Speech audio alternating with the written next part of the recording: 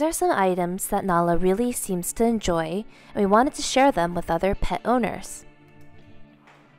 I'm going to be sharing some tips and tricks when it comes to picking out great items for your pet, and they'll be spread out throughout this video, so be sure to watch it until the end.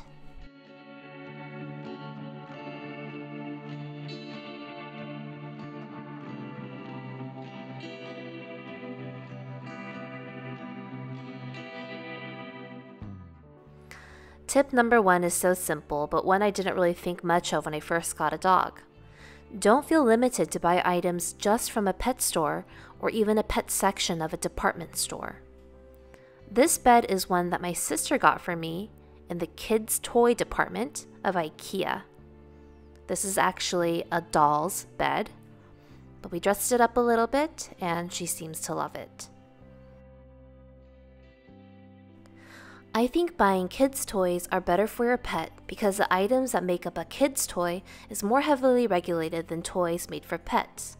Usually, they'll make sure kids' toys are less of a choking hazard and that the ingredients aren't poisonous.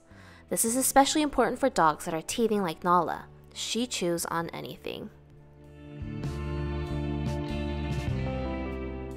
Tip number two is shop in the baby section. I got this from the infant section of Ross. Check your local Home Goods, TJ Maxx, or Marshalls for items in the baby section. You might be surprised to find something awesome. This is actually a belly time mat for babies, but Nala seems to like her belly time on here as well. She also likes to play rough with this poor bear. It's been through a lot. I feel a little bit better knowing that this item was made for human babies. I feel like if it's safe enough for a tiny infant, it should be safe enough for our baby. We do let her gnaw on a cardboard box every once in a while though. I don't know why she likes it so much. Tip number three is buy intellectually stimulating toys. This is a toy we got on Amazon from a brand called Our Pets. Basically, it's a ball with two compartments, and your dog has to get the treats from one side to the other and get them through the hole in order to get to the treat.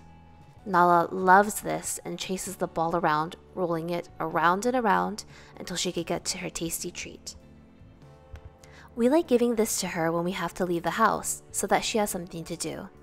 I believe this style of toy is also called a puzzle toy.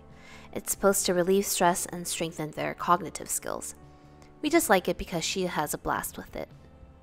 One thing to consider is that it is very loud when it rolls across hardwood floors or when she bangs it against the walls. It's a little annoying, but it's Nala's favorite toy. So we'll just have to live with it.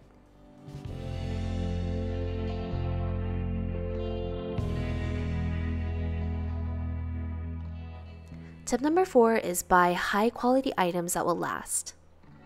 This is actually a nice bath mat that we use for Nala. She plays on top of it, and before she sleeps, we fold it in half and make a mattress out of it. You want to make sure you're washing your pet's toys and bedding at least once a week with a mild detergent. We use 7th generation's laundry pods and throw her items in the washing machine, so you want to make sure your pet's items can withstand some rough toss and tumble. Tip number 5 is buy age appropriate items for your growing pet. Nala has really loved teething on this Nylabone, and she even revisits this toy every now and then to give it a good gnaw. This is a human toy. Some of the balls were too hard, so we got her a plushie that she could roll around. She loves to snuggle up with this and play around with it, but of course, she always loves my fingers a little bit more. Tip number six is be attentive to what your pet tells you. Although your pet might not be able to speak, they will tell you what they like and what they don't like. What they eat and what they play with is solely in your hands. You have the responsibility to make sure your pet is getting what he or she needs. Nala really likes this toy called a Kong ball.